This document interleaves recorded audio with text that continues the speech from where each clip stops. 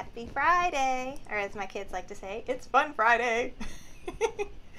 I hope everyone is doing good.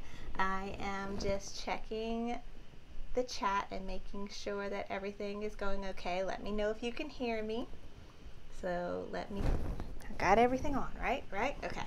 Um, let's see, let's give some shout outs to Con and Carol and Brenda, who are my moderators. Thank you so much for being here and helping out. I really, really appreciate y'all. And hi to everyone who's joined us tonight. I see Star and Marissa and Kathy and Delia. Thank y'all for being here. And I saw we have uh, someone new, C. Lombard, that saw uh, me on Sewing Machines Plus on Thursday. Thank you so much for coming over. We are excited that you're here. Let's see. Hi, Norma. Let's see. I see. Uh, Karen, Michelle, Amy, Patricia, Francis. How are y'all doing? So, I'm so glad y'all are here. I'm excited about tonight. We have a really cute project to do. But let me tell y'all about a few things before we get started. So, let's see where do I want to start? Last week was Hoop Fest, and it was so much fun. If you were not able to watch it, it's all on YouTube, so you can watch replays. It's also on um, Sewing Machines Plus um, is Facebook page. So Hoop Fest was a virtual embroidery event. So um, because of the pandemic, you know, 2020 was very special. and we did a lot of virtual things, right? So Blaine over at Sewing Machines Plus had started having a virtual show and virtual events. And so he had Quilt Fest in March, which was awesome. And then last week we had Hoop Fest, which was all focused on embroidery. And it was a great week. They showcased all kinds of amazing machines, software, um, accessories, hoops for your machines, different tools to help you. So if you missed any of that, you can go to Sewing Machines Plus's YouTube page and you can see each day and then it gives you a breakdown of what all went on that day because it was like a eight hour day. So it was, long. I only got to catch a few segments myself but i'm going back and watching the replays of things that i wanted to check out and one of them i still haven't checked out yet is the John Deer digitizing. I need to watch that one. But um, i had the opportunity to teach there last thursday um, and I taught an applique class, and it was a lot of fun. And we went from you know the basics of how applique works, and and showed a bunch of examples, a bunch of different ways um, stitching is done on applique. So it was a lot of fun. So thank y'all for those that watched. And then I kind of had a surprise uh, thing yesterday where Blaine called me on Tuesday was like, hey, you want to be on the show again? I'm like, sure.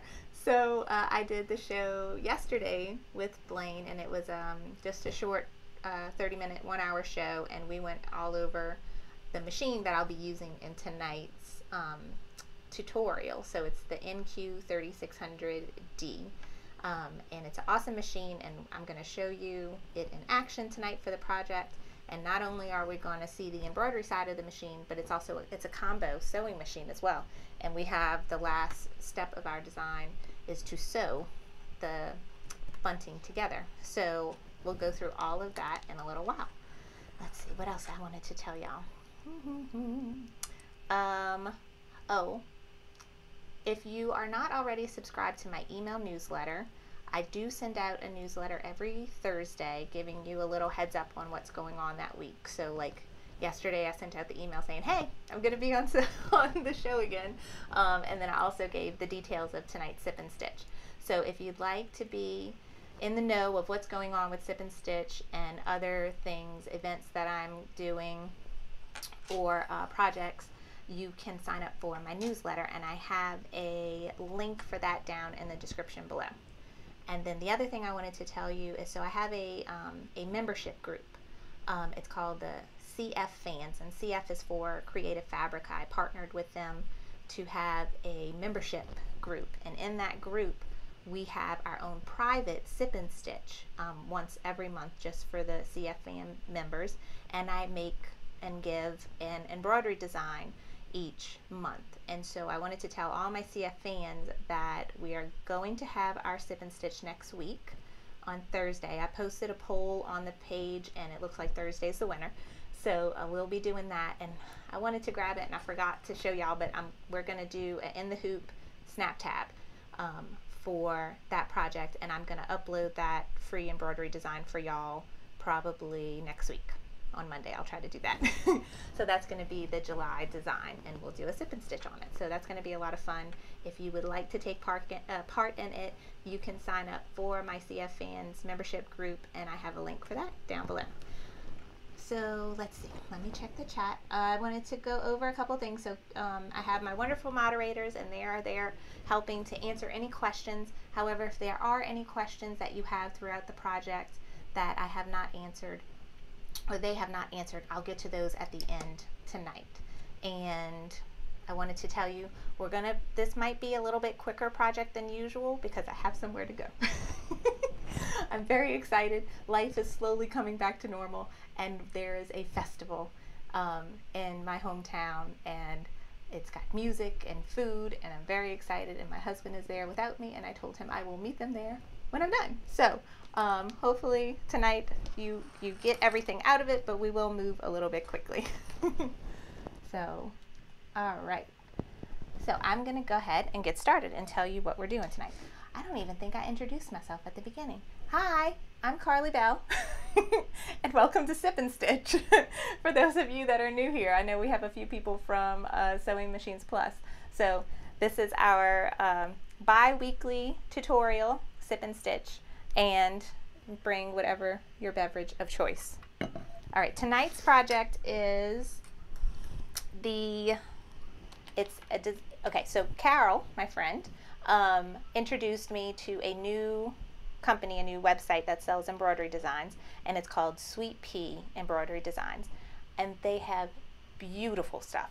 And it's it's much more involved and intricate than stuff that I'm used to. So it's not just like going to buy a design that I'm going to put on a on a shirt or a blanket or whatever. These are like projects and I love them and I want to do all of them, but I'm trying to keep myself contained. So I um, picked this 4th of July project for since we have Independence Day is going to be next Sunday. Um, and there was two things I really liked, but this one seemed a lot more doable for sip and stitch. The other one is going to be much more involved, but I'm going to show you all my progress because I do still want to make it. But tonight's project is from Sweet Pea Designs, and it is a 4th of July bunting. I never call this bunting though, I always call this a banner. So what you see here is three triangles, right? And then this string holding them together and you see my clips because we have not sewn it, I haven't sewn it together yet. We're going to do that tonight. Um, so each of these triangles, there's two different types. You see ones with a star and ones, uh, they have two with stars and then one has stripes. So each of these um, triangles is one in the hoop project. So I already made three of these. These, was, these were three different hoopings. So we're going to make the fourth one tonight. That's going to go right here, and that's going to be the completion of my little banner. But you can make as many as you want. So I just wanted to make a little one to hang here in my craft room. And I'm using, this is bias tape that is holding it together. Well, the clips are holding it, but that's bias tape on top. And we can, we're gonna talk about that when we get to the end of the project. But that is what we're making. So let's go ahead and get started. I'm using, so it comes in two different sizes. You can either get the five by seven or the six by 10. I went ahead and just made the 5 by 7 um, to see how I liked it first, but I might make a 6 by 10 version for like my fireplace downstairs. But for the craft room, I did the smaller one. Um, the machine I'm using tonight can does have a 6 by 10 hoop, but I'm going with the 5 by 7 So, let's see. Let me show you my stuff. All right, so what we have is the 5 by 7 hoop. I have some cutaway stabilizer. Then these are the pieces you need. Now, one thing that's awesome about this design is that it comes with PDF instructions and those instructions are very clear. So it was not confusing at all going through it um, this past week making my three my three triangles. Y'all see here. Um, it was it was very simple to go through and and figure out from the instructions how to go about doing this. But I know I am a visual learner, so I'm hoping that this video helps you feel more comfortable with these types of in the hoop projects. So the one paper I did print out is all of the sizes of material that you need for the project. So there's a star bunting block and a stripes bunting block. And this, these are the sizes you want to cut out for a 5x7 hoop, and these are the sizes you want to cut out for the 6x10 hoop. So I'm going to do the stripe, out of the two um, options, I'm we're going to make this one tonight. This one I find was a little bit like this would be helpful to have the visual instructions. This one I find was pretty straightforward and it's very much a typical applique. You lay down the fabric, it's it does it, you trim it, you it's going to do the placement for the star, lay down the fabric, trim it, it does the finishing stitch. It's going to do a placement stitch for this, lay down the fabric, it tacks it, you trim it, and do that. So this one was more straightforward than this one. So this is the one we are going to make tonight. And I went ahead and followed these and I cut all the pieces out. So the one we're going to make tonight is going to look almost like this, but we're going to go opposites. We're going to do the gingham for the top and bottom, and then the, the stars for the middle. And then I'm using the same, I don't know, you can't tell so much from the, um, from this, but this white material has stars on it. I think it's hard to tell. It's hard, also hard to tell which side is the right side. but I have all of my material pre-cut and ready to go. So you can follow your guide on if you want to have all that cut and ready. And the cool thing is, is that if you're going to be making like 10 of these, you know, five stripes and five stars, you know, go and do this all at the same time. And then those, those each hoopings are going to fly by. It doesn't really take long at all. The other piece of materials we need is, this is the first material. This is quilt batting. So I just went to Joann's and got some, uh, a package of quilt batting. I know nothing about quilt batting, so I just bought a small package. Um, if you are a quilter, you probably have plenty of this at home. but I, I cut a square that's going to just be the size of my hoop. And then this is the material that's going to be the back of your triangle. So each one of these triangles, you see it's a finished back. So you're not, because my material is white and thin, you can see through it. But if you wanted to pick a blue, you know, you wouldn't see through that. But typically you don't see the back of these banners, so I don't think it's a big deal. I had plenty of white material, so that's what I'm using for the back. Okay, so let's get started. So the first thing we need to do is hoop the stabilizer. And that's one thing I love about in the hoop projects. All I have to do is hoop stabilizer. I don't have to hoop anything. I don't have to even float anything. And y'all see my, my pretty band-aid with, with diamonds on it. I cut my finger with this uh, rotary blade earlier when I was cutting these pieces of fabric. I got myself pretty good. Okay, but it's not bleeding anymore, so I'm fine. All right, so we have the fabric hooped, and now we're gonna go over to the machine and pop it on. So, let me move this. All right, let me get my stuff out of the way so I know this particular camera does not like when I move in front of it because it messes up the focus. so here is the NQ 3600D. This is an embroidery and sewing combo machine. Um, it has up to a 6 by 10 hoop, but you can also do 5 by 7 4 by 4 and 2 by 3 um, and if you are familiar with the NQ 1600, this is pretty much the same thing. It has all the same embroidery features, but it is also a sewing machine. And coming from a person that is not, I've not used a really nice sewing machine before. I have, I have a, a basic sewing machine, this is amazing as a sewing machine. and I'll show you some of those features when we're ready to sew up our bias tape for the, the bunting when we're done. So I already have my design loaded and I know this I tried to turn the brightness down on the screen but it wouldn't let me. But I have the design already loaded. So with this design you do not need software. Um, you can just download it unzip it copy it to your USB stick and plug it in.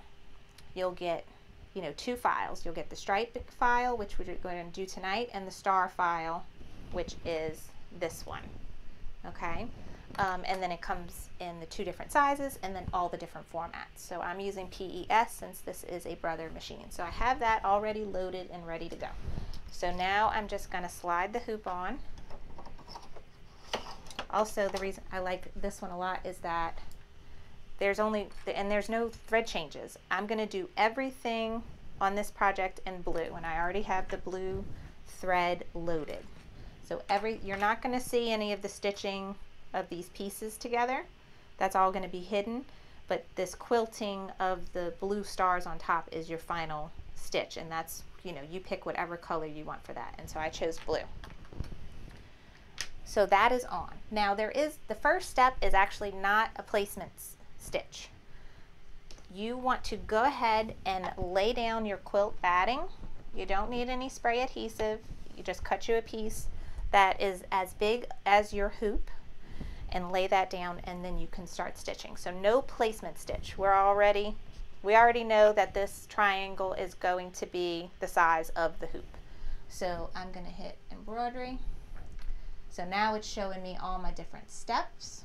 And so the first step is the outline of the triangle. I'm to lower my presser foot and stitch.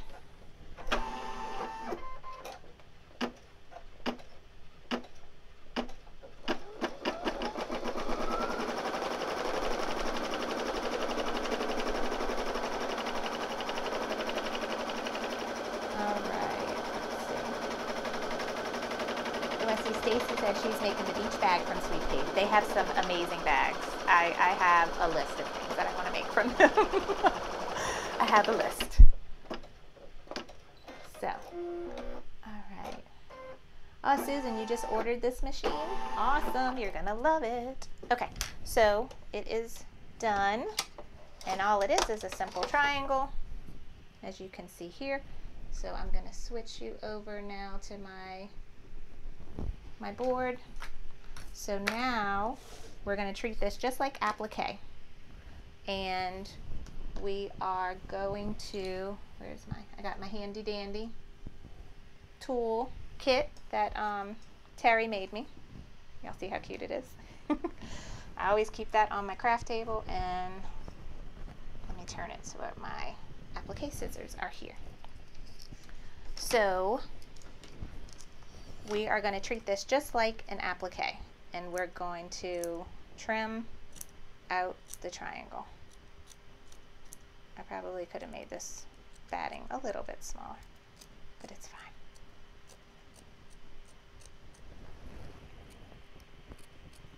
So these are my favorite applique scissors.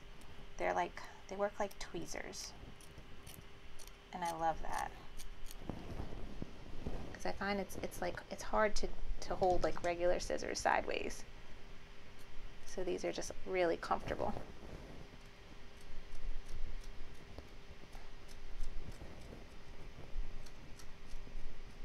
All right, so I'm just trimming this.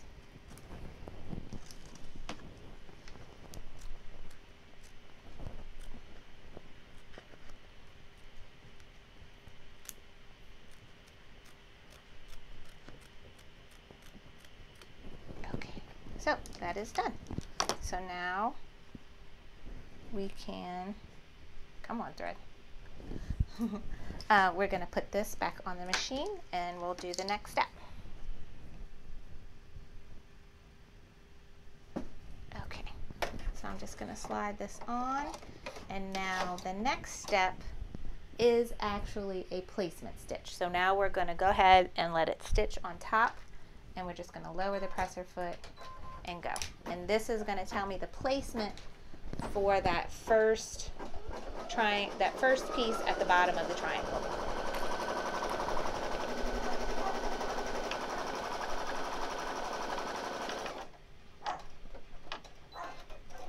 All right, so that is done. And I got all my pieces here. So my first piece is going to be the gingham. So with this project, I am not putting heat and bond on the back. Um, I, I don't think there is a need to. I will iron these when they're finished just to get them flat, but I don't think we need to worry about having the fabric you know coming away from the batting i don't i don't think that's an issue this is not something that's going to really get washed probably um, unless it gets dirty somehow um, but i don't think we need to worry about heat and bond um, for this project. So i just have my pieces cut with no heat and bond. So i'm going to put this right on top. Let me show y'all. Sorry if i make your car sick. Can you see that square? So we're just going to lay this piece right on top of the square, like that. And then I'll press start again. Okay, not to make you car sick. okay, and since this is a pattern, I'm to make sure my gingham is not like crooked and it's going straight up and down. And hit the presser foot and go.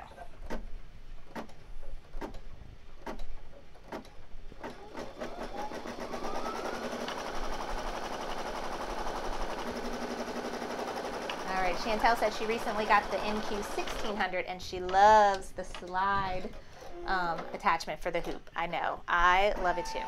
Coming from a PE 770 or like PE 800 and you have to snap the hoops on with those two pegs and sometimes if you don't have it right your hoop can pop up on accident while you're in the middle of stitching and ruin your project. Ask me how I know this. Um, this is a super nice feature of this machine. So this one and the NQ 1600. Also the Baby Lock Flourish 2. All the same embroidery features, those three machines. Okay, so it's stitched the um, placement of the gingham. So you see that there? Now, we do not have to trim all of this. All we're going to do is trim right above this top line here, okay? So I'm going to take my applique scissors and try and do this while I've got this upright. Let's see if I can.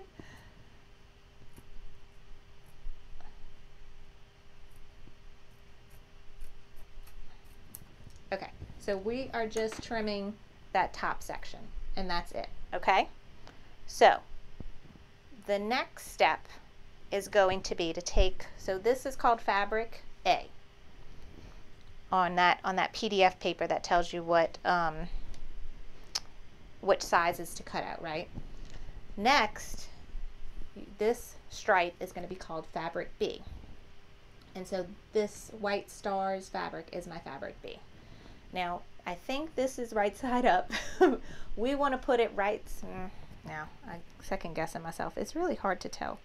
Okay, but depending on what fabric you're using, you want to put it right side down on top of this fabric A with having just like a quarter or a half inch above where this this stitch is okay?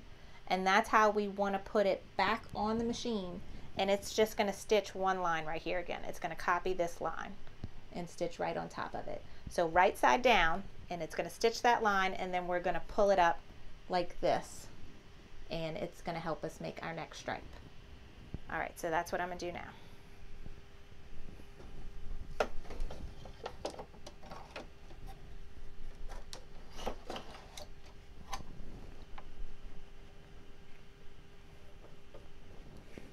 Okay, I hit start. And now it is just stitching that straight line across the top.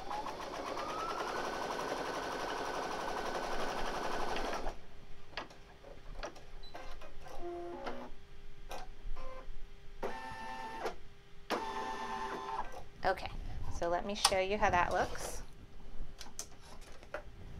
All right, so we just have that straight line now. So now what I'm going to do is I'm going to pull this up like that. I'm going to kind of finger press this to kind of create a crease and then it is going to do another rectangle placement stitch.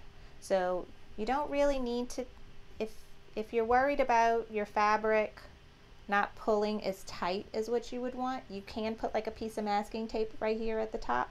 I didn't find it was necessary, just finger press it and push and let it stitch that next um, rectangle to make this particular stripe, okay?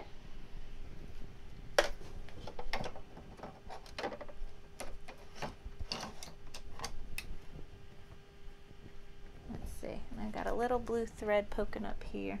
Well, it doesn't matter because it's going to get cut off anyway. All right, so I'm just finger pressing it and pushing it up. And now I'm going to hit start and go.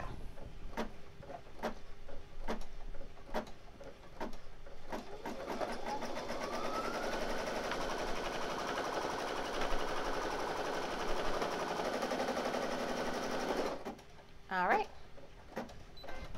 So now we're going to repeat this, what, three more times? We have three more stripes. So this is what we're left with.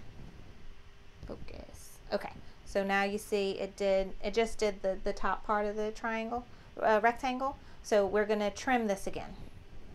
So I'm going to take my scissors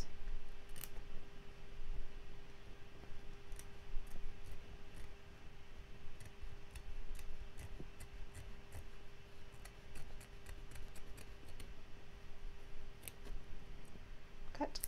Okay, so I just trimmed the top part of this. Now we're going to take fabric C. All right, this one's a little more obvious. I know this is right side up, and that is the wrong side. So we're going to put the right side down. I'm going to put it a, a smidge above this blue line, like this. And now we're going to stitch another line across this way.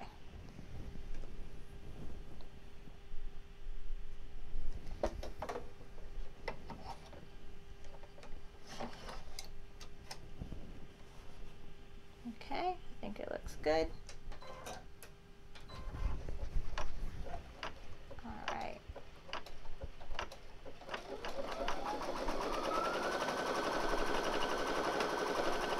All right, who's talking about lasagna? Now I'm hungry.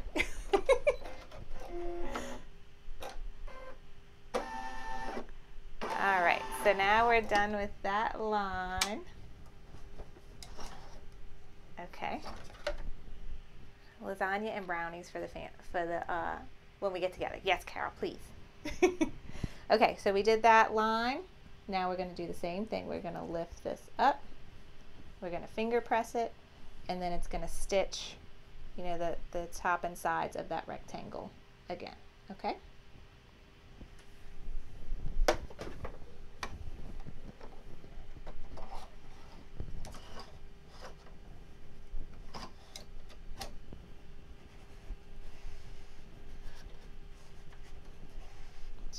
Pressing my fabric along that seam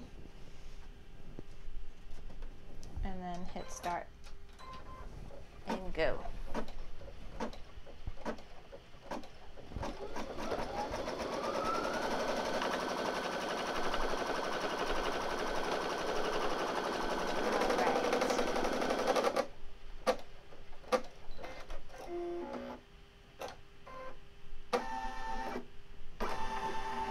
that one is done. See? Can we see? You're gonna focus? Yep. so you see that blue line again? Now we're gonna trim right above this one. See this, guys, this is simple. It looks intimidating, but it really is simple. Once you, once you see it in action, you're like, oh, I can do that. So now we trim that. And now we will take A, B, C, D. I'm to do white again. Why did it need to? That made it way too long. Um, I'm going to put it right side down and slightly above this line here.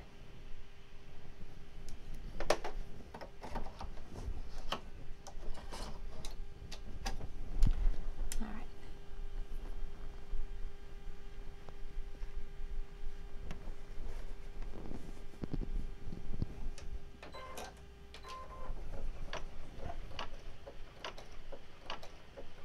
So. Oh, Carol. Know, y'all. This is how much Carol loves me. She is at her cabin in the mountains, and her internet is out, like completely out. It's been out for like weeks. And she drove to, I think, a local library and is sitting in their parking lot using their Wi Fi just so she could be here with us tonight. How sweet is she? How sweet. All right, so last time we're gonna trim that. I'm gonna put it down for this one because I made, I made this strip way too wide. It called for like nine inches wide. I didn't even think about that. The hoop's only five. So I'm just trimming this real quick.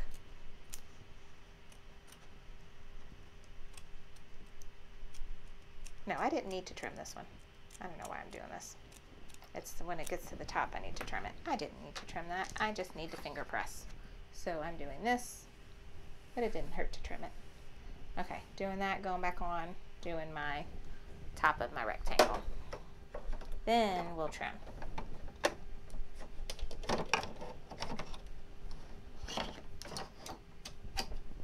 Okay, finger press. Let's see.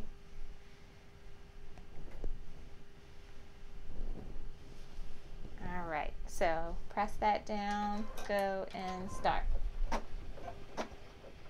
That is what I call dedication. That is right, B. Cobbler.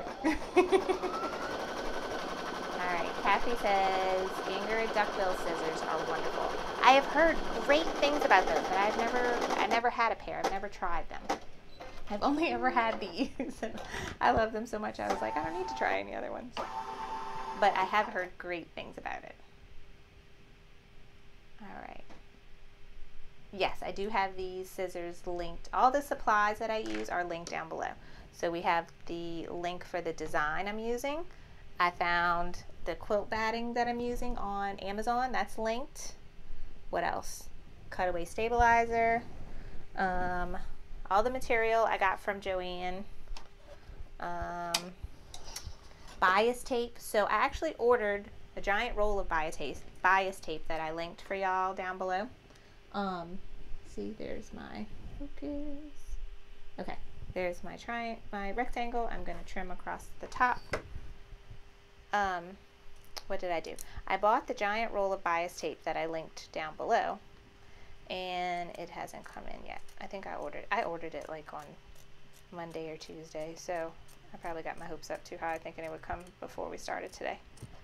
Um, so I improvised and I took this white fabric that I had already and I cut a long strip of it and that's what I made my bias tape with. And I'll tell you all about that um, when we get to it. So last strip, so A, B, C, D, E at the top. And that's going to be my red gingham again. And so I'm going to lay it face down and just have it a smidge above this line.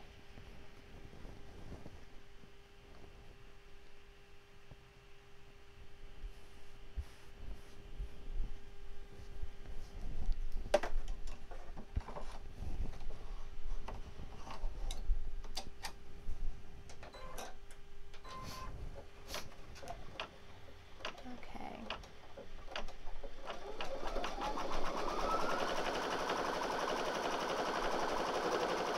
Thank you, Patricia.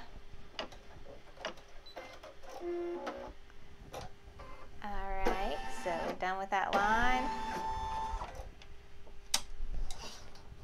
So the last step for this app, well, this is almost the last step. I'm gonna trim this because I made it way too long. And you know I'm gonna save this piece of fabric for another piece of applique because that can definitely be used for another piece of applique in another project. okay, so I have the line, last one that we're going to do like this. We're going to flip it up and press it and it's going to do the last rectangle.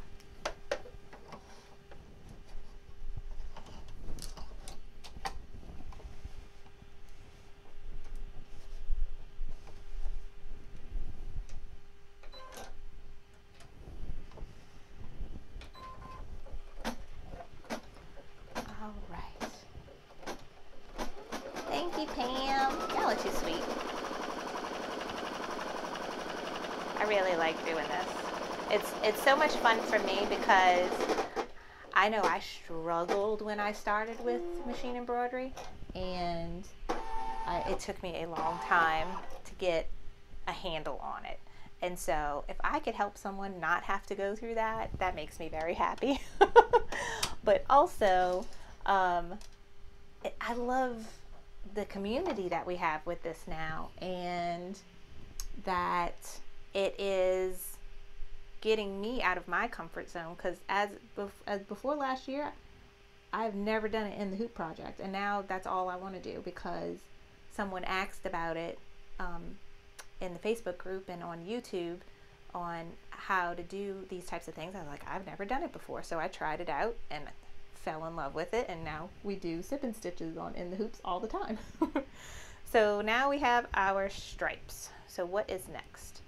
I Next is the quilting. So now it's going to do the blue star quilting all over the triangle. Okay, so that's the next step. We don't have to trim this one up here. We're going to get to that when it's all put together. Okay, so I'm just going to put it back in. I have my blue thread on there. And it's going to do the blue star quilting. And what's so fun about this is you can you can make each triangle different.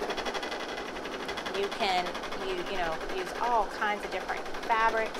I had actually had intentions of trying to make my own fabric for this project, but I went to Joann's and I saw all their beautiful fabrics. Let me show you. I was like, I don't need to sublimate any. I found so many that I loved. So this is the white star. Focus that I'm using in my stripes now. I know it's hard to tell. Then they have this firework and I also got it in like a glitter. So they're not the same but similar. Firework pattern with stars. This one has some glitter to it. This one has no glitter but like more stars. Then the red that we're using, the red gingham, and then I love this one too. It's a blue and red star. So they had so many cute, and they had a, a bunch more. So I was like, I, I just want all of these. So now our blue quilting is done. So the next step is now you want to take what's going to be the back of your flag. So I'm just using a white piece of fabric. Okay, you can use whatever you want. You can use felt. You can use a dark piece of fabric, whatever you have. I mean, really, the back of the the bunting should not really be that visible. Um, but just use whatever you have on hand and that you can cut, you know, large squares out of. So I have my large piece of white and now it's going to stitch just the V and it's going to do it in two separate steps. So once it's just going to be a running stitch and then the machine will stop and then it's going to do a, a, like a triple bean just to really reinforce it and make sure that it's on there good so that when you turn it inside out that the seams don't rip that it's really sewn down good. So we're going to do that.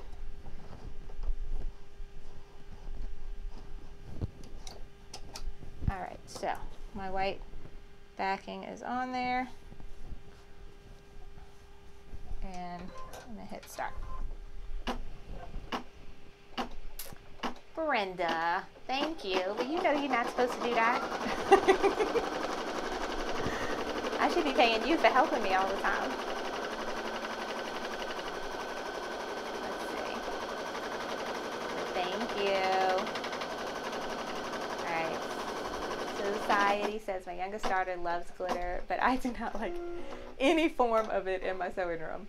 When it's on fabric, be sure you clean your bobbin area very well after finishing your project. Very, very good suggestion to make. I know when I, a long time ago, I used, let's see, I don't even know where it is. I had some glitter, it's almost like embroidery vinyl, but it had like loose, it didn't have that clear coating on top. Like the glitter would fake, flake off as it was sewing. And it, I had to go bring my machine to get serviced after because it, it was full of it down there. Okay, so that is that one triangle. And it was just a running stitch. So now it's going to do the reinforcing stitch. It's kind of like a triple bean stitch. All right. Yeah, I, um, there are these, these women on Instagram that I've been following for years and I love them and they crack me up. They're an organization company. They're called The, the Home Edit and the two, the women's name is Clea and Joanna, and they have the best Instagram stories. I love them, and they talk about glitter, and they talk about that you know the kids coming home with projects from school covered in glitter, and they despise as much as you know they love sparkly things. They do not want glitter in their house, when they talk about someone having glitter in their house, like you, you might as well just throw it away and get a new one. Like when talking about their house, which we know they're not serious, but it cracks me up. Let's see. Um Yes, Society said she's used that loose glitter vinyl before. Never again. Same here, honey. I found good embroidery vinyl, machine embroidery, machine, uh, not machine, marine glitter vinyl. That is much, much better for sewing and embroidering.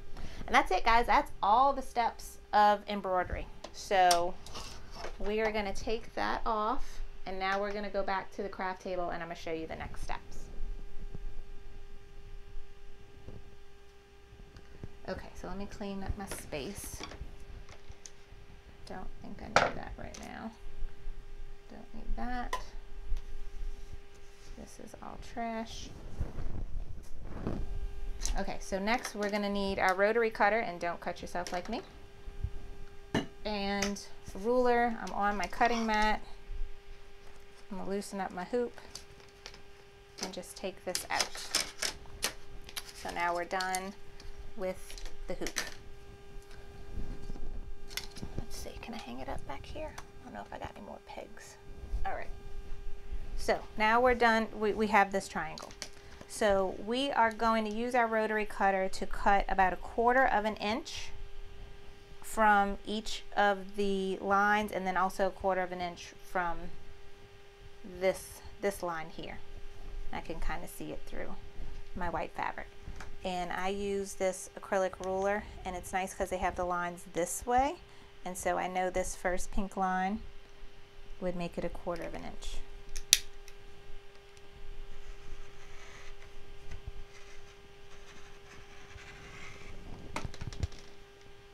So that is done.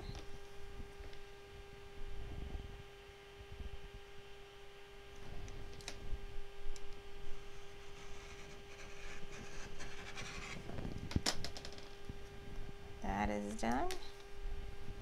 And then I'm just going to cut it right here for now. Let's see. Oh, I know that the tops of this. Okay. So I have to line that up. The first ones I did, I cut them way up here, but then when you went to go put them in the bias tape, I had to trim them down. So I'm going to go ahead and cut this one right. Okay. So the last thing you want to do is cut this. I did have a little bit of trouble. The first one I did, I had a little bit of trouble uh, turning it inside out, so I kind of, you want to get that point a little bit close to the, you know, without, without snipping your thread.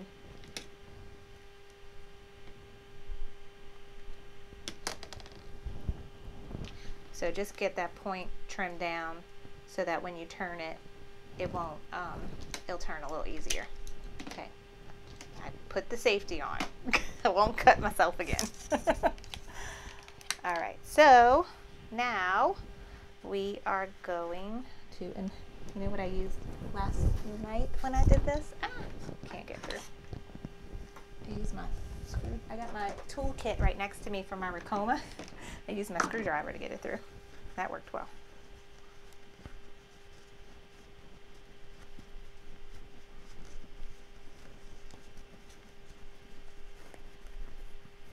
Okay, so turning it and I'm just trying to I try to do as much as I can just with my fingers getting until I get to where I can't push it no more and then I use the screwdriver.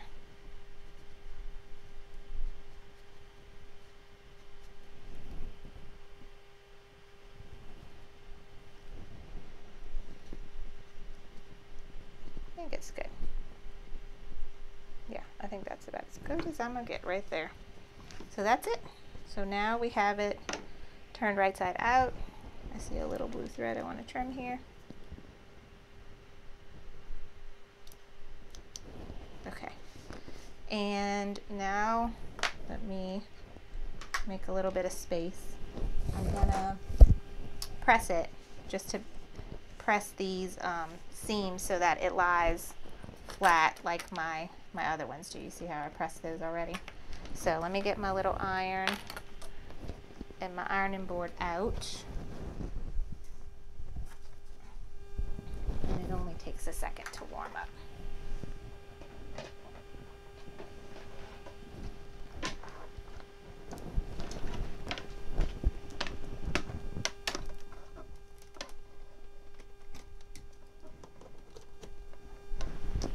Okay, so let that iron warm up and we're going to press this down.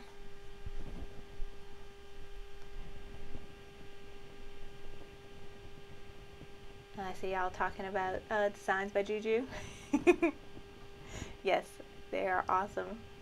And you can, yeah, you can buy a lot of things from there too.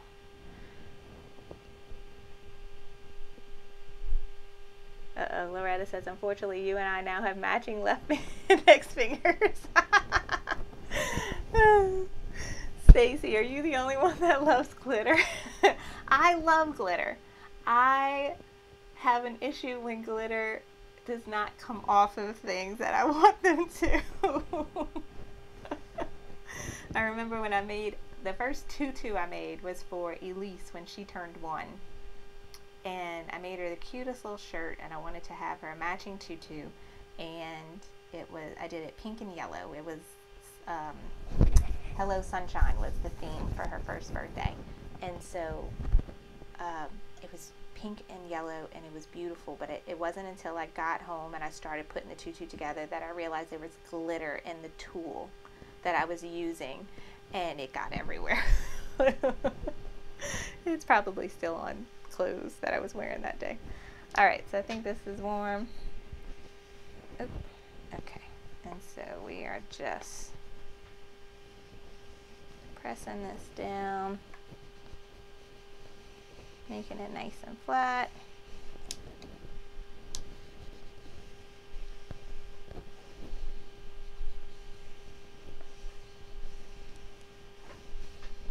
All right, and I think that is good. Unplug my iron. Oh shit, I did the, excuse me, I cursed. I unplugged my camera. Let me make sure my camera is gonna come back on. Let's see. It's the camera for the machine. Yes. Okay. It came back on. Sorry for cursing. okay. I am. I have a problem with forgetting to unplug my iron. I'm gonna leave it like this since it's on its silicone mat. And my craft room is notorious for the breaker going out when the iron is on and the machine embroidery machine is running. okay, so now let's go back to the machine. and we are going to talk about the sewing features. So now we are ready to add the last piece of our bunting to the bias tape and we're going to sew that. So I need to change my machine over to a sewing machine. So the first thing I'm going to do is turn it off. Okay. Then this embroidery arm, it has, you can put your hand in, in this part and then lift up and then the whole embroidery arm will slide off. So I'm going to do that. And let me go put it on my table so I don't mess it up. Okay. All right. So now that is off and I'm going to take, you could leave it like this, but I'm going to put this on. And now it's almost a sewing machine. Only other thing I have to do is change the foot. So right now it has the embroidery foot and I have this nice little case here with a bunch of presser feet in them, all different types that it comes with. And it's super simple. I just have to loosen this screw. This embroidery foot just falls off.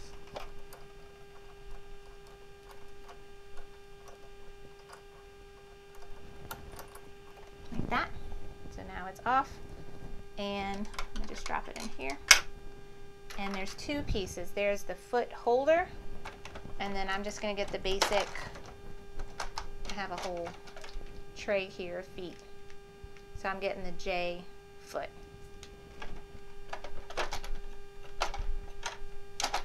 I like how nice and organized it all is. And then I can just put this down and the foot holder picks up the, um, the J foot. And I just put that on there. Now because this is not like a garment and this is just something that's going to be a wall hanging, I'm going to continue to use my embroidery thread, both the bobbin and the thread. So I'm going to change my blue thread out for white. So I'm going to cut that. Pull, always pull your thread through the needle. Don't pull it backwards. and sorry it's a little awkward the way the machine is I gotta come over here I don't have it like facing me it's on an angle so I have to come over here to get the thread going alright so there's my thread and I'm gonna run it through the thread path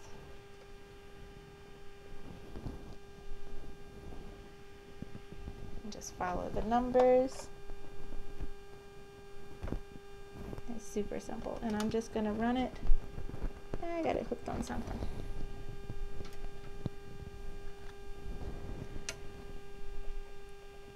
Okay, there we go. Run it through and then I'm to cut it. And then after I turn it on, I'm to thread it. So now I close this and turn it back on. Oh, where's it at? Okay. Da-da-da. I get my pretty screen. Now I have a whole new screen because it senses that the embroidery arm is not on it anymore and now it is ready for all of the sewing functions.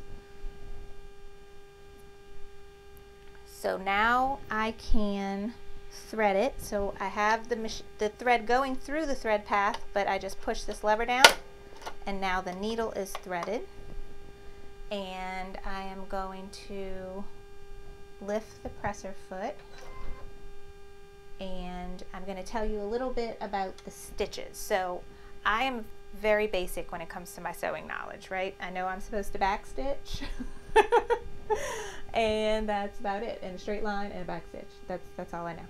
So with my old, uh, just regular sewing machine, there's just little things like, you know, raising the foot, um, putting my needle down, back stitching, and then when I'm done, I have to raise the needle, I have to raise the presser foot, and I have to pull and trim my thread. With this machine, you can program it to do all that for you. So I'm going to, by pressing these buttons right here, I'm going to program it for the presser foot going up when I'm done. It does a back stitch um, and it cuts the thread. So you'll see how that works once, once we start going. But before we start, I do need to make sure I have everything in order because we are ready to sew now. The machine is ready to go. So I clipped my triangles already and I made them one inch apart. So now I need to measure and clip my fourth, my new addition, where it is one inch from the other one. And you could just eyeball it too.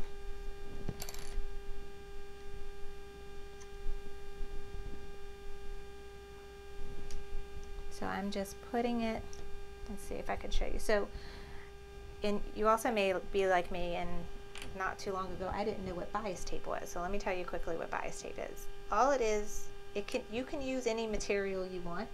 You can also buy bias tape at Joann's and, and um, even Walmart, they sell it. And what I've done is I've made double fold bias tape. And so I took a piece of fabric, what were you, like two inches wide, and I folded each edge in to where they met in the middle. So let's see if I'm doing a good job showing y'all this, because I know my camera doesn't focus very well. Okay.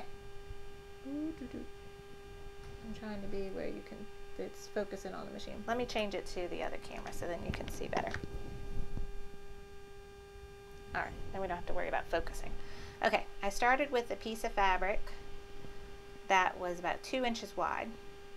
And then I folded this in and I folded this in. And I ironed it. Then I folded it in one more time. And I ironed that. And so now we're left with what's called double fold bias tape. And we're going to open it halfway, put our pennant triangle in it, and then fold it down. And we are going to top stitch right along this so that it is now stitching it all together. So we're just going to do a straight line, which is, that's my kind of sewing. I'm going to do a straight line right across, you know, a smidge above the edge of this bias tape. And that's going to give us a nice finished look on both sides. So that's the purpose of this. Now, you can buy bias tape. I did not have any white at home. I had some pink, I think, that I had bought before.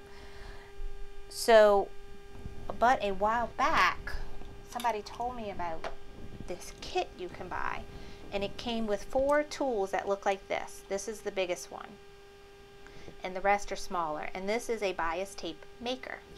And what I did last night was I cut a long strip of white material and then at the end of this strip I cut it at a 45 degree angle and then you stick was it I think it was the 45 degree angle I put I pushed that in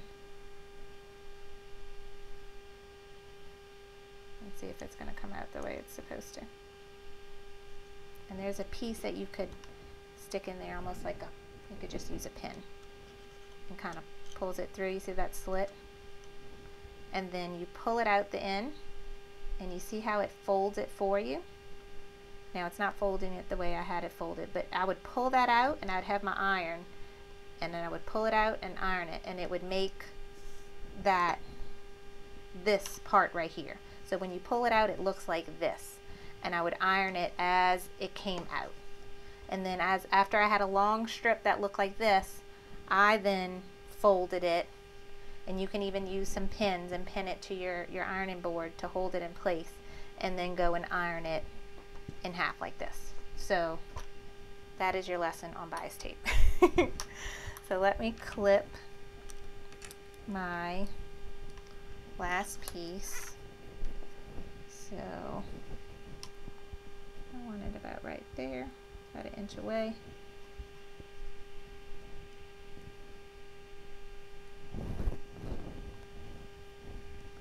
And done.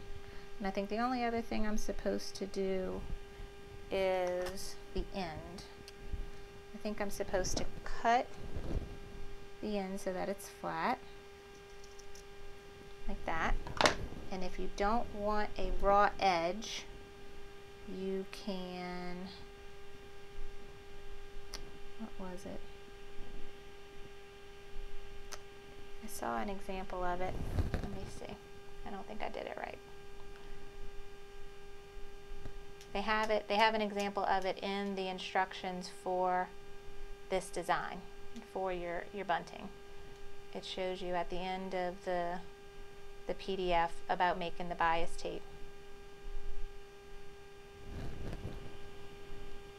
I don't know how they did that. Fold the ends of the bias tape like this and pin it in place and it shows, oh I think you're going to fold it and make a little I don't know if this is hot anymore. Like this, a little triangle. And then down. So now you kind of have a finished edge on the end of this. Well, mine doesn't look that finished. But we can pinch it. And I'm to do my other end too.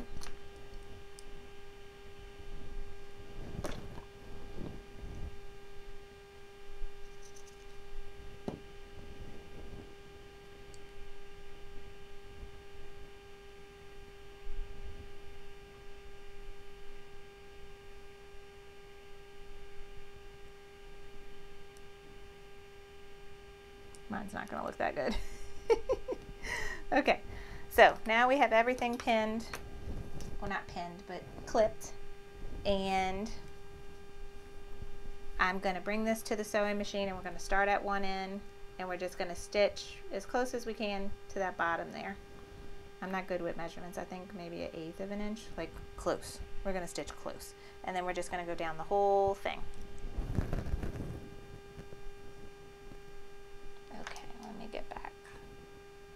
So I apologize in advance. I don't know how well the camera is going to work with y'all watching me. So I might have to move it so that my arm and stuff is not in your way. Okay.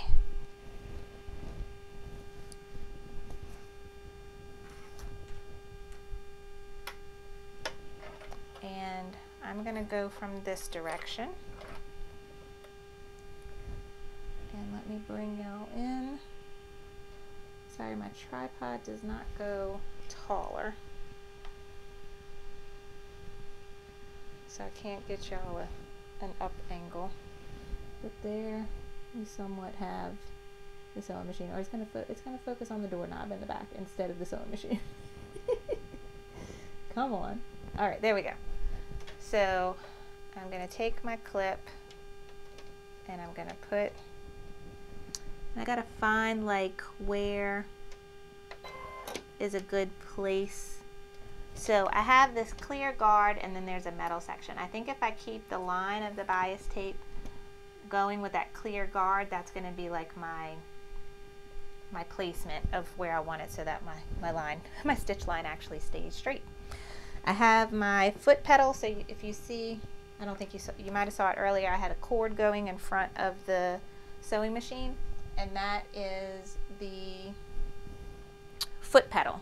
So I have that underneath my craft table here and I am going to see if I could do this standing up and so I just lowered the presser foot. Now with the the program that I did earlier, it's gonna when I start pressing the foot pedal, it's gonna automatically do a back stitch for me. So I don't even have to go and press the back stitch button. I have it programmed that it's going to do it for me. So I'm going to do that now. So now it's, let's see, I don't think I have it in there. Oh, needle up.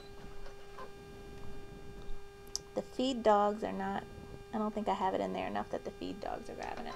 Okay, let's try this again.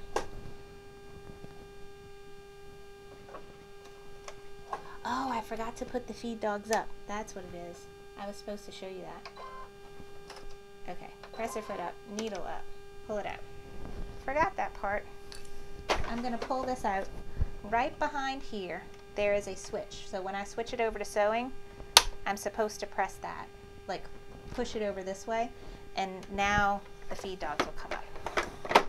And then when you put the embroidery unit back on, you want to switch it to where the feed dogs are down, and so that won't be on there. Okay, now we got it. Let's try that again. Okay, this should work now.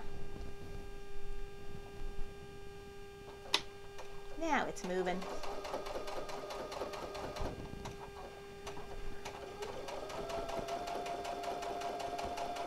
Okay.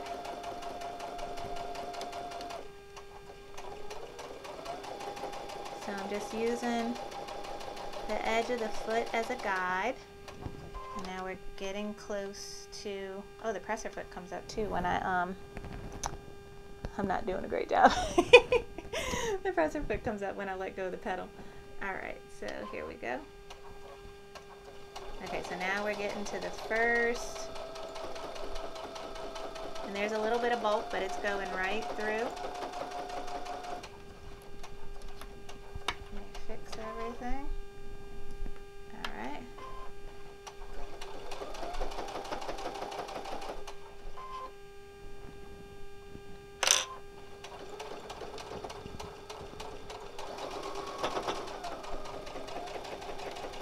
I'm getting better. I'm getting better.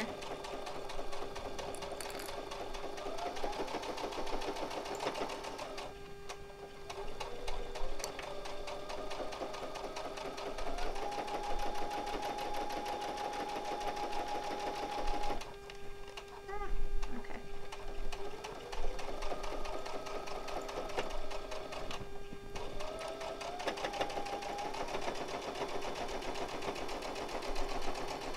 Ah!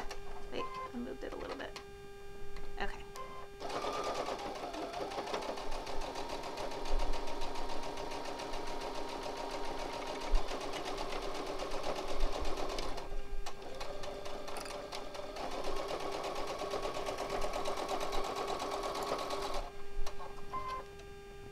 Okay, it was supposed to backstitch.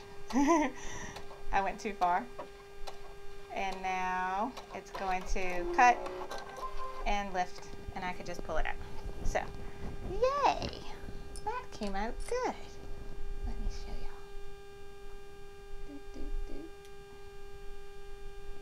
y'all. Okay, hi. That was pretty good for like sewing sideways. and I have I have the presser, the the foot pedal down below like on a cardboard box because the cord wasn't long enough because I have my machine going diagonal, but I still did it. So that is it, guys. How cute did that come out? I don't have the best top stitch, but it's it's it's not half bad. It's actually not bad at all. Yeah. I like it. Yay.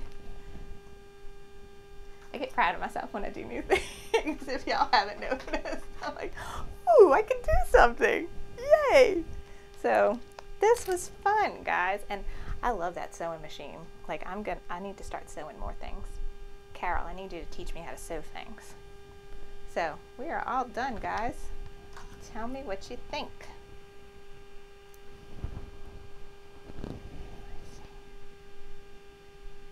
Awesome.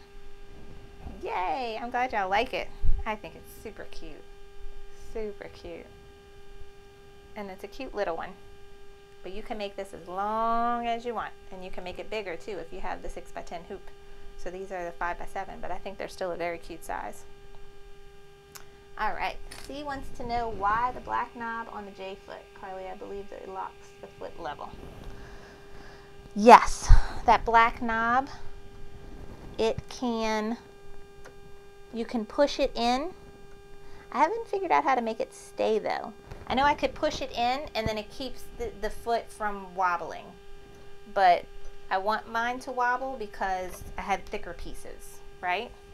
If I think if I if that's right. All right. So, yay, I'm glad y'all liked it. This was a fun project. I'm glad we did this one. The other Sweet Pea project is a flag or it's a wall hanging. It could be a table runner. Just depends on how you put it together. But it has, I want to say it has eight or six blocks. So it's like a quilt where you would, each block would be one hooping in the embroidery machine. And then you sew it all together like a, like piecing a quilt and then you um, put some binding around it and you can either make it a flag or a wall hanging or a table runner. So that's something that i want to do but that's going to be a much longer project to put together. So um, and if you were if you're on my email newsletter i put that one as the design i'm digging this week. So you can check they have the link for it in there so you could check it out. All right. So okay i'm ready for it's time for a sip. And i can only have like one or two sips though because i have to go. Drive my car. So no more sips until i yeah no more sips um, so tell me what questions y'all have I know I probably I missed all the chat the whole time. I'm sorry. Uh, just to give you a heads up, the next Sip and Stitch is on Friday, July 9th. And that is going to be a sip and chat. So then I could sit down and you could ask me all your questions about anything you want and then I can I can talk to you because I feel bad while I'm doing the project I, I probably miss a lot of the chat. So next Friday, is going to be a sip and chat. I mean, the not two Fridays from now, July 9th. All right. Thank you, Tina. Okay, C. Lombard. You set the black knob when before you go over layers. It helps the foot level so that there's a slim chance of breaking a needle. Okay, thank you. I'm learning new things. All right. Thanks, Con. She knows I'm going to that seafood fest. There has not been a seafood fest since before Katrina here uh, in New Orleans. And I, I live south of New Orleans. So when I was growing up, they had a seafood festival every summer, and it was like the best thing ever. And you know, when I was a, a kid and a teenager, it was so much fun. And then it hasn't happened since Katrina. So this is the first year since 2005 that we're having the seafood fest, and I'm very excited about it. okay. Susan wants to know why do I use a thread stand all the time? I prefer a thread stand because I do not like the way the built-in thread holder on the flatbed machines is horizontal. Not my thread doesn't always feed off of it nicely like it is supposed to. And that can cause tension problems with your projects. Um, it can cause uh, thread breaks um, and needle breaks if it, it, things get caught up and it's not coming off smoothly. So the thread stand, I like that upright angle of the, the thread coming off the spool and then it, it has a, um, a loop that the thread passes through and then it goes in through to the thread path of the machine and I just find it flows a lot more smoothly. All right. Thank you. Carol said the same thing. All right. Yay, Rhonda. So who who fell victim to Prime Day? I know a lot of us did. um, Prime Day was was fun. They had some good things. I found I couldn't find any machines, embroidery machines, on sale for Prime Day. The Cricut was on sale for Prime Day though. That was a really good deal. Um, I could not find any machines or like big things that I wanted, but there was lots of good supplies. lots of stabilizer, lots of thread kits. Um, and last year for Prime Day, I loaded up on a lot of those things. Um, all the variegated thread, all the pretty thread that I did not had before, those are on sale for Prime Day. And um, what else? Like tools for in the hoop projects, the um, the snaps, the eyelets, the press, like all kinds of good stuff was on sale. All right, Diana, she has more helpful tips than anyone I know. Aw, let's see. Next Sip and Stitch will be Sip and Chat Friday, July 9th at 7 p.m. Central. Thank you, Con. Yes, and get your questions ready. So, yay, Jenny got her Cricut. Um, if you need, if you, Jenny, if you need help with your Cricut, my friend Lori, she is an expert at the Cricut, and she has a blog, and she also has classes that she teaches um, where she teaches you how to create your own SVG files. She can she has um, like a really nice uh, like a PDF booklet on how to use Cricut Design Space, all that stuff. Check her out. Her blog is craftroomtime.com. So if you ever need Cricut help, go check her out. Okay, okay. Oh, I hear it's raining. Maybe I won't be going to the Seafood Fest. I just heard it started pouring. It's an outdoor festival. Maybe I won't be heading down there after all. So let's just no, let's just keep chatting. oh man, I have to call my husband. I hope he's not getting soaking wet. Let's see. All right. Yep. Brenda's telling me raise my feed dogs. She knew what, what was wrong. Um. Okay. So I think that's it. Let's see. What about Susan said? What about the scan and cut? I did not see any sales on the scan and cut. Um, I know Sewing Machines Plus. I think had a deal on the scan and cut for Hoop Fest. And he did say yesterday that he was honoring all the Hoop Fest prices this week. So go look at Sewing Machines plus.com and see if they have a deal. I think most of the deals though for um, for Hoop Fest were you had to call in though. So you have to watch the replay and see whether when they were talking about the scan and cut and see if they had any deals on it because I don't remember. All right. Carol says the best time to fish is when it rains. Yeah. Hey, Angela Jasmine is here. How you doing, girl? That's my favorite YouTuber, guys. so, let's see. Um, Angela was on Hoop Fest last week, so that was really cool to see her on there. She was telling us all about her Melcos, big fancy machines. So, all right, is there any more questions, guys? So, I really, this was a fun project made a cute little banner. There's so many ways that you can make this different. Now this is geared towards, you know, you could put this out for uh, Memorial Day weekend, 4th of July, um, Veterans Day, but I'm sure they have other bunting patterns to where you can make them fun for all kinds of occasions or just to have out like just to be cute during the summertime or for Christmas. I'm sure they have some. So, all right yeah, it is pouring outside right now. I do not think I'm going to be going to any festival tonight. no festival. Nope, might as well just stay here and hang out. All right. No, Carol, I don't think I'm going to the festival. Oh, Angela says that's good for a first first birthday high chair banner. Yes, that is cute. They make those where um you can have each triangle have O-N-E so that it spells one. So that would be super cute for birthday parties. Thank you, Carol. So, let's see. Con, Sip and Titch t-shirt. When can we get the design? I started making that post. So for those of you who watched a few weeks ago, we did an introduction to sublimation and I made this shirt. And I have the design and I have it as a free download.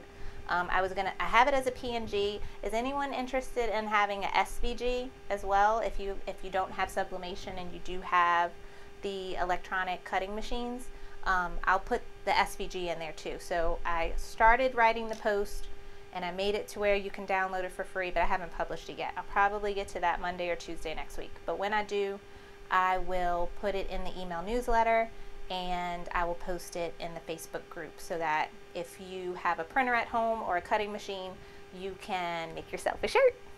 So that's going to be fun. I'm still looking for a supplier for good quality shirts that have high polyester count so that I could put them for sale on my website too for those of you that don't have the printer or a cutting machine and, and want to get a shirt. Um, but they're like all the places that sell shirts, they're all sold out because sublimation has turned into a huge thing and people sell them like hotcakes. So um, I once I find a good supplier that I can get, you know, variety of sizes, I will put these for sale on the website and then I'm still figuring out my cups. But once I have the cups figured out, then I will put these for sale on the website too. Yeah, so lots of people would like the SVG. Great. Okay.